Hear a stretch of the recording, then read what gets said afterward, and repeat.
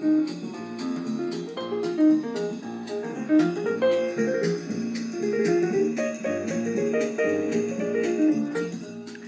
following is a comfortably zoned radio network production.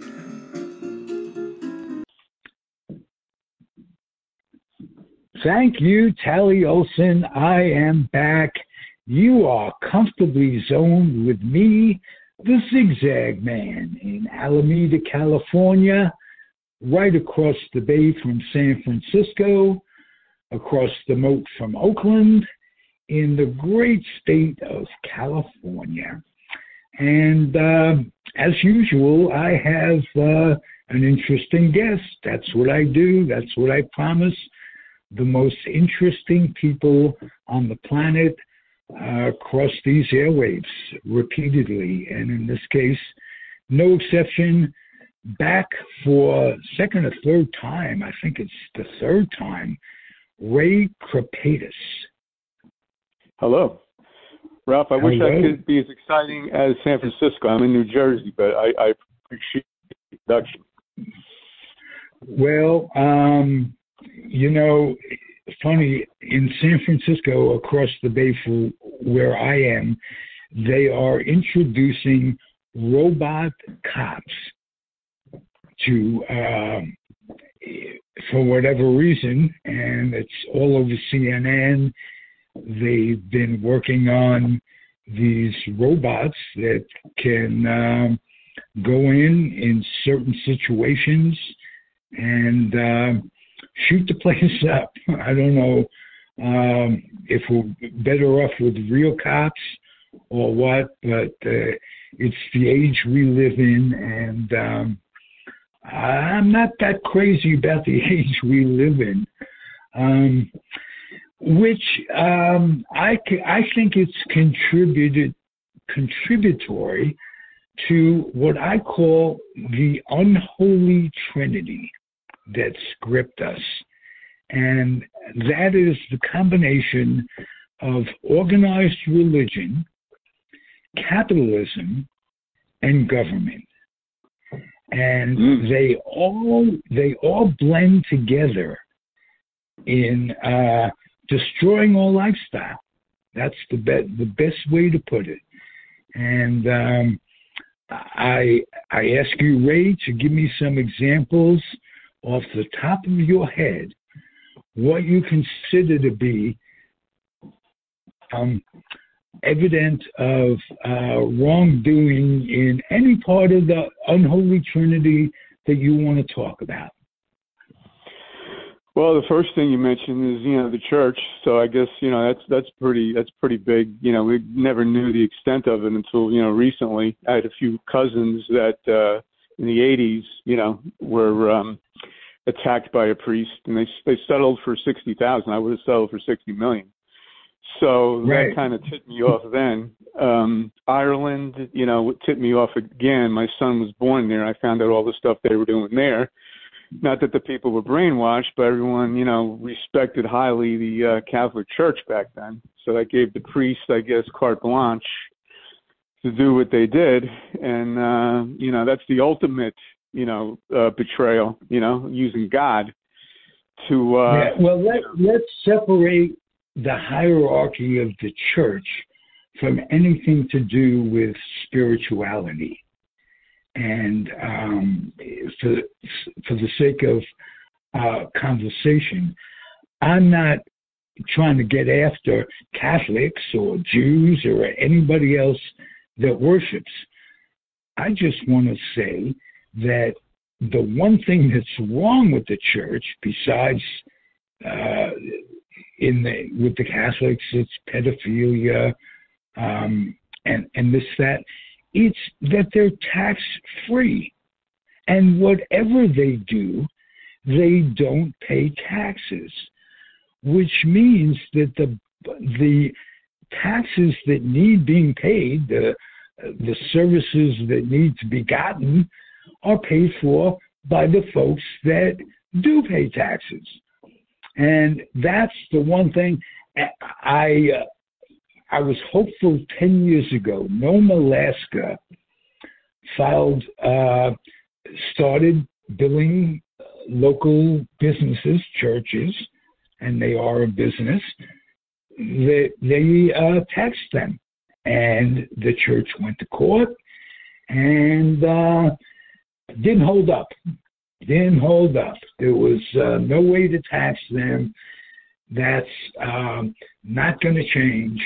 And when you speak of the church, the most damning effect that the, the Catholic Church has had on we Americans is they tried to eliminate through the Supreme Court, which uh, which they now own, um, Roe v. Wade, and I think that's a slap in the face on society.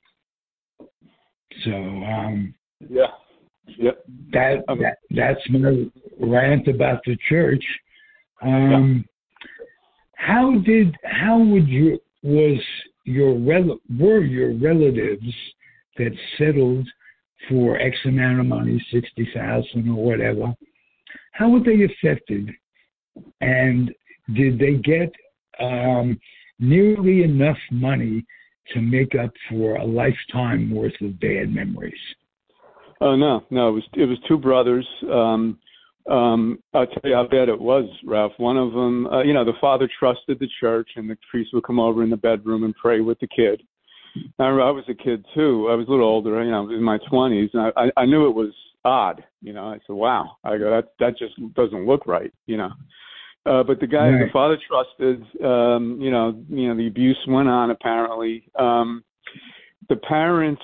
Um, don't speak to one of the kids anymore. I mean, they're totally estranged. The guy the guy broke away from them because he had a baby and then the parents were accusing that child because when you get abused apparently, you know, you abuse people. I guess that was their theory. So they actually thought their own son was abusing their daughter because he was abused and they they you know accused him of that so he just thought he he he had it. I mean, he just stopped communicating with the parents, and uh, so that's how bad that was. He lost a full a full family, you know, because family, of it. Yeah. And the other brother, um, you know, major psychological issues, never married, you know, everything you can imagine that you could be affected by. Nice guy, but you know, both mm-hmm. brothers, mm-hmm. just on my personal you know experience. Um, you know, uh, devastating. You know. Uh, how did it know, affect totally their spiritual? Um, Ray, how did it affect their spirituality? Were they able to separate the the church from from their belief system, from uh, for what they um, was obviously near and dear to them, or did that get uh, kiboshed as well as their um, as their uh, feelings and, uh, and I don't know. How, do you know how if they're still playing? I hope so. Because well, uh, um, yeah, they um well I know they don't go to church anymore. I mean they definitely don't do that. Um as far, as far as their spiritualness, I'm not sure, but I I know they stopped fully going to church. And ironically, the dad, who was like really totally into the church, did everything in 100% trust until that happened. Then, of course, he went to the, you know, they went to the court. It was a courtroom situation, you know, with the priest. Um, and he went every day, and now he doesn't go to church anymore, you know, to the to Catholic Church. So, you know, I know that for a fact. As far as the spiritualness, I I don't know if they have a guy, you know, if they have a higher purpose in their minds or what. So that I don't know, but I know they don't go to church anymore. You know. So you know, I mean, can't blame them for okay. that. Well, I hope but, I hope they weren't damaged spiritually. Yeah, um, yeah, they're, they're good guys deep down, real, real good guys. So I'm, I'm thinking spiritually, I think they might have survived it, you know, because they're not, you know, they, I know they could go the other way, you know, like doing bad stuff, you know, but they actually mm-hmm. turn out to mm-hmm. be good, good men and the caring guys. So I, I'm looking positively on the spiritualness of it. You know. What did the priest say in the courtroom setting?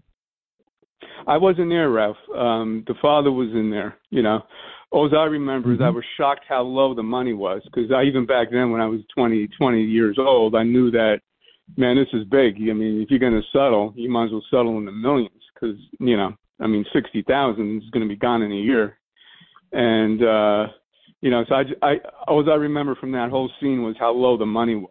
You know, but back then they were blue collar people, and sixty thousand was a lot of money. So I'm sure the church knew that and threw it at him. And I think they had a thing where they had to sign where they they couldn't talk about it. You know, so you know I know they wrap it all up in the courtroom, so they try to protect the you know the priests and everybody. You know, as far as right. the gag order thing. And you know? the sad part is all over the country, in many countries, accused and convicted and or convicted clerics are being transferred from one diocese to another. And that's without telling the people in the new diocese, without um, any regard for humanity. And um, I, I, think that's horrible. And that's uh, one part of um, the unholy trinity. Next, yep. business. Give me an mm-hmm. example mm-hmm. of what goes on in business that is uh, so um, disgusting to you that you got to share? Well, I mean, when you hear when you hear you know professions that are lowly rated, you know, you hear the car business, you hear the lawyers. I mean, lawyers to me hurt me the most because you know whenever you need a lawyer, I mean, you need them. The court system's set up that you know you can't you can't survive you know without a lawyer when there's a when there's a situation that arises. So they're in full blown mode to you know to take advantage. You know, if they got the power, they got the knowledge. Um, you know, they like money. You know, I'm not saying all are bad. I mean, there's always, there's always real good ones. You know, but uh, there's a ton of ones that are unethical. I personally got burnt on fees. Um, on, on on one guy built me 70 hours research on a situation so you know, and then you can't really go to arbitration because that takes years. The, the um, lawyers know it; they know where the line is. A lot of them, and then they then they just settle. You know, so that's what I I had to do.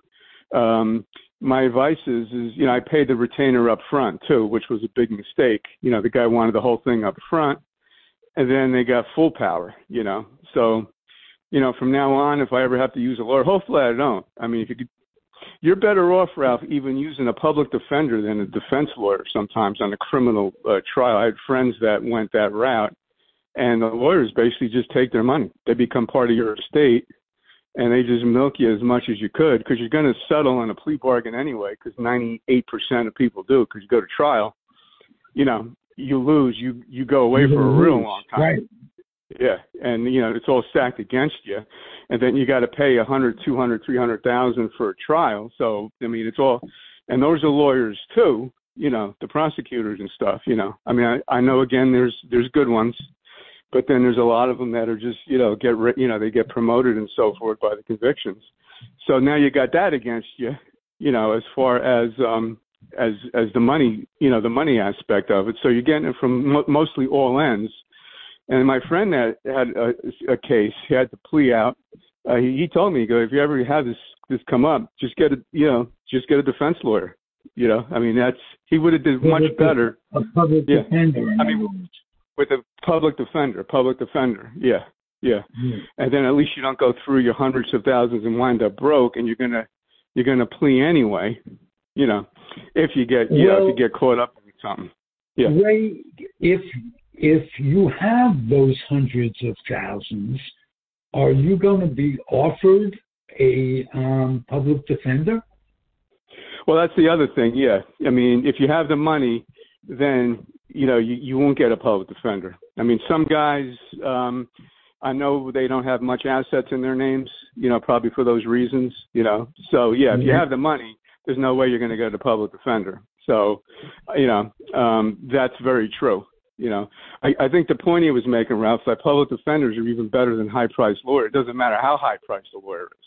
You know, You know, right. I mean that girl, that girl from um, is is a girl, the lady from Theranos, whatever, has gone away for 11 years. You know, I'm sure her lawyer probably took her for a couple million dollars. You know, um, you know, so it's one of those things. Then you got the whole, you know, you got the whole system once you go in, and you got the corrections, all the all the crazy stuff that goes on in there.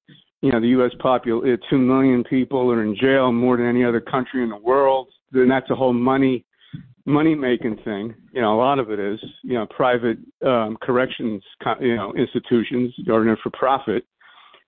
You know, the the whole thing, the whole trinity. You know, so that's all part of the business part of it. You know, to use mm-hmm. people, uh, put them away for a long time, and then there's money made. There's money on food. You know, the, the, the whole thing. You know, it just becomes a whole money maker. So, and the politicians, okay. you get all that um, aspect of it. So, that's part. That's another part. Let me just put in a disclaimer for for attorneys. They're not all like that, even if it's eighty no, no, percent. No, no, I, am talking about the, the, the, unethical ones. There are. Right. There's no doubt about it. There are good attorneys, but I'm just telling people what yeah. to kind of watch out for. Yeah.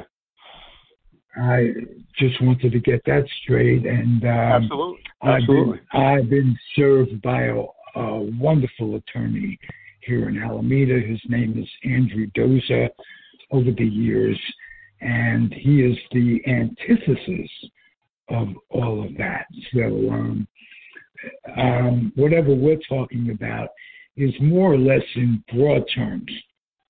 And um, and I'm True. and I'm sure there are, are wonderful clerics that um, in the Catholic Church that uh, uh, far be it for for them uh, to be pedophiles, for instance. Only this, though, everybody knows. It's if you're a priest, you know what goes on with other priests, and there's a big cover up there. So, um, as uh, as much as you like to say, um, give credit for their goodness, you you must question the fact that it's um, it's a club, just like the judicial system is a club. If you they had a Christmas party, it would be the prosecutors, the court clerks, and the judges attending the Christmas party for a, or Hanukkah party or whatever. You know, they are basically in cahoots with each other. It's a system. And on a smaller scale, try getting a traffic ticket and fighting it. Because the cop that comes to comes to te- tell the judge he'd be at that Christmas party. But, so we're getting screwed by the judicial judicial system every bit as much as um, you can imagine, and um, I, I like to think that there would be some solution, but that brings us to the the body of work that gives credence to this and that's the government. The government doesn't tax the churches, and the government is um, an ally of of the prosecutors.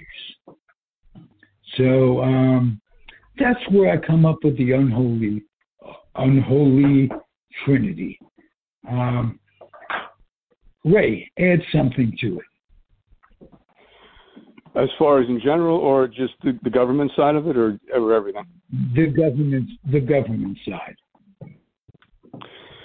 Well, the government is, um, you know, you know, I'm not saying is bought and paid for by the lobbyists, but you get that whole aspect of uh, of it, you know, where where the industries lobby for certain things, and then they get it, you know, they get their brace because they got the money. You, you got the revolving door aspect of the guy from Goldman Sachs that goes into the government to be the Treasury Secretary, and then he does favorable things you know, that will get him promoted after he leaves government back to the private side. You know, so you got the back and forth revolving door. You know, you get stuff like I'm not saying that Jared Kushner, you know, doesn't deserve two billion dollars, you know, from Saudi Arabia, but you know, I mean, he was in government before. You know, so there's there's a lot of um intermingling with with private, public, going back to public, going back to private you know, and the, I call it the revolving door. I think that's the word for it. You know, so you get all, all that going. You know, you get people that don't want to fine or put in jail Goldman Sachs guys, or you know, during the 2008 crash, none of those guys went to jail. You know, but to put the low flying, uh, low hanging fruit guys in jail because you got to put some people in jail. But the guy from Countrywide goes scot free. He made about 500 million dollars you know, but you'll get Goldman Sachs fined five hundred million dollars. You know, you, you hear them get fined a lot of money, but that's after they made three million because they're they don't want to go after those guys. They I think they're too powerful, you know. And then uh, and then that makes the whole thing collapse if they start going really after the big big shots, you know. So, you know, it's it's I don't think it's and ever going to really, change. The really Yeah. big shots come from either government or they supply government. The next senator is going to be a CEO someplace. So unless, unless he's playing football for Georgia, which um, it tells you an awful lot about the, the system that uh, Herschel Walker could be nominated. And, Yeah, yeah. um, Yeah. and then you get two you get you get two ralph um the um you know the congressmen and so forth could trade on insider information you know and they don't get in trouble because they're making laws on the industry. I mean there was a scene a couple of years ago where a whole bunch of them made a lot of money and they had the obvious inside information but they don't get in trouble for it. But you get a martha stewart that gets a tip from someone and she sells your stock and then they get her for lying about it and she goes to jail for two years. You know so Right. it's just you know And of we those- haven't even talked about the lobbyists, the gun control lobbyists that make these congressional members, senators, rich, and pays all their campaign fees and gets them reelected. Um, that and health care. We're really being screwed by the government that allows lobbyists to control healthcare, drugs, this, that, and the other thing. Um, can I have some potential solutions from you? Is there anything to all of this that can, can we look for for the the light at the end of the tunnel to make society better? Well, I mean, I always like to have hope. You know, you hate to have no hope. So as long as we're alive, there's the hope. And I think it might be just Ralph just talking about it and just incrementally making people aware of it. You know, and I don't have the one. This is what the solution is answer. You know, I, I, I wish I had the one answer, but I think it's just openness to talk about it all. You know, and then um, you know, you're not going to get rid of all of it you know, but maybe maybe you know one percent here, one percent there, and you crack down and just make it that a little bit better because one percent better might might be a lot, you know. So I think it could definitely improve by by us talking about it. It's just like a mental health issue, you have to talk about your mental health, and then if you if you keep it in, it's not good, you know. So I look at it like that. We do have freedom of speech, you know. I mean, there are there are the good things we got, you know. So I think that's important, you know, to realize that. I'm I'm I'm I'm shocked how great society seems to run. I mean, if I didn't know any of this, I go out, take my walk. It's pretty safe. It's I buy things. I have, you know, I watch my sports. I mean, it runs fairly good, you know, until you get you know uh, entrapped in one of these things like uh, like we were talking before. You know, if you have a kid that was with the priest, or you get the you know, you get a bad deal with um an unscrupulous lawyer, you know, that's when the trouble starts, you know. But if you mind your own business, I mean life life isn't too bad, but you know, but through the mishmash of it all, you know, it's it it's out there, you know. Well, let me remind about the thing that we talked about health care. that 50% of ba- maybe 80% of bankruptcies are the cause of the result of um, of um, healthcare and being billed and going bankrupt because and people with insurance um, go bankrupt. How do you say? How can that happen? Well, insurance companies are very selective about what they pay and what they don't pay, and um, so uh, when we talk about big business, um, start with start with the insurance companies. Um, you know, I feel better that we identified some of this stuff. You're right. Oh, Talking about oh, it is good. Is good. And if one person listens and takes something from this podcast, it'll be successful.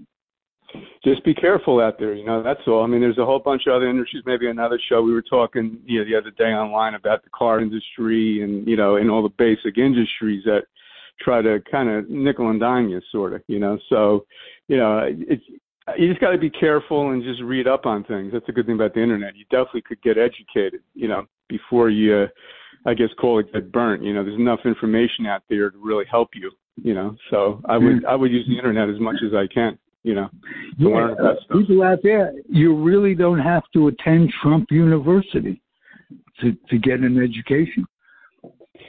No. which, is, which uh, to me is the biggest laughing stock in the, in the whole world. This guy gets elected. But you know what? I think we've we're past that. We're past Trump being a significant force in the Republican Party. They may not know it yet, but if you if you're playing scoreboard, nobody that he's endorsed lately has gotten elected. In um, and I just hope Herschel Walker isn't the exception because we've got the Senate, but that one seat, and when I say we, I'm an independent. I can't call myself a Democrat, but um, for a number of reasons. Um, although I vote as a Democrat, so I'm an independent in my mind. I uh, register as a Democrat so that I could vote in the primaries. And um, uh, this has been a great show. I uh, it's cathartic talking about it, getting a kindred spirit into my belief system. Um, Ray, it's a pleasure. Hey, Ralph. Anytime. Let's do it again. I appreciate the time you're giving me to voice my opinions. You know, I always have fun with you. Thank you. I do too. And uh, next time we'll keep it light. We'll do a little sports, baseball in particular. How are you spending the off season in your head? Do you play uh, simulation games, or um, do you listen to uh, YouTube? They have old radio broadcasts uh, which I do, of uh, I get to listen to Red Barber and Phil Rizzuto and Mel Allen do Yankee baseball when I was a kid before the Mets. Um, and hearing that on YouTube is uh, is just wonderful. What are you doing in the off season uh, to stop your jonesing baseball? I do some of that. I do some of that, Ralph. You know, I I, I go on YouTube. I watch some things. You know, as you know, I post a lot of baseball stuff. You know, right. I like reading stories. I got I get you know Baseball Digest comes out you know once a month. Uh, so I look at that, just stories and stuff. I I basically uh, you know then I get into football and then once then I look forward to spring training. You know, so getting into football actually helps my baseball because I know once that's over, I got baseball you know. So every week that goes by in football, I'm, I'm getting closer to spring training, you know. So it kind of psychologically gets get through it that way, you know. And uh, you know, I mean, months go by fast, you know. Before we know, it's going to be February, and there's nothing better to me than that spring training. Everybody has hope, you know, when you get in there. I so, I read yeah. something 78 days to spring training or opening day, or uh, I guess it's spring training. Um, any predictions in the signings? Will Judge sign with the Yankees, and will Degrom sign with the Mets? I'll give my opinion is no. I don't think I don't think uh I think Judge will go somewhere else and same same with DeGrom. I don't think uh I don't think they're gonna stay with the with the home team, you know, my opinion. I mean we'll see, Okay. but that's my feel, you know. It's my feeling. Well, uh, that's all I want is too. your that's all I want it. is your opinion. Um, thank you, Ray. Good podcast. I enjoy right. your company. You're welcome. All right. All right. Talk to you soon. Be well, and uh, thank you for listening, everybody. Comfortably Zoned Radio Network. I'm Ralph Zig Tycho, the weak link of it all. And I just want to say adios and happy trails. The proceeding has been a comfortably zoned network production. You are advised to keep your dreams wet, your humor dry, your children and grandchildren out of military recruiting offices and off the laps of clerics who wear dresses. Thank you for listening, everyone. Happy trails.